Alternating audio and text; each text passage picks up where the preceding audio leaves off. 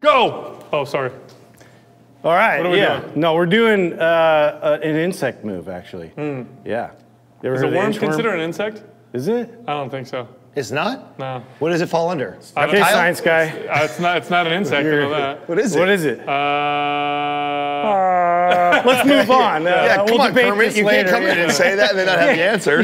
He's coming in with facts without facts. Insects have All right, I, I see how the it goes. I see how it goes. Okay. Anyway, insect or not. This is uh, the inchworm. So here we go. The inchworm. The inchworm. So what we want to do is we're going to go ahead and actually start. The be- best way to do this probably start in the quadruped position. Okay. so hands and knees. So hands and knees, we extend, we get into the extended plank position. And now I'm gonna actually walk my feet towards my hands. So Keeping goal your legs goal is to keep- straight. I was just gonna say that's the goal, right? Yeah, the goal is to try and keep your legs as straight as possible. So I wanna get a nice pike here where I'm feeling this all the way from my hamstrings and then extending my knees into it. So I'm applying tension, uh, getting the calves and ankles and everything involved. Now I'm gonna walk my way back out.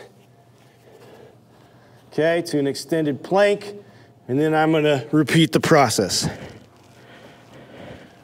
Arguably one of the most basic things that we, a lot of us learned as kids.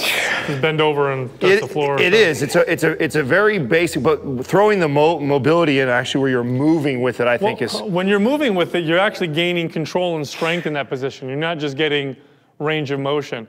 People need to realize that range of motion without strength within that range of motion is actually causes problems mm. with mobility. And that's the real benefit of doing something like that versus just.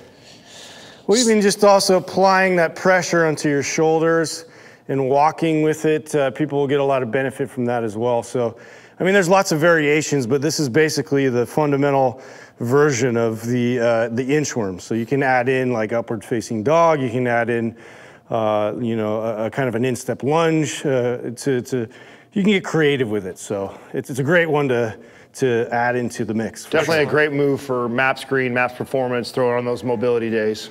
Absolutely.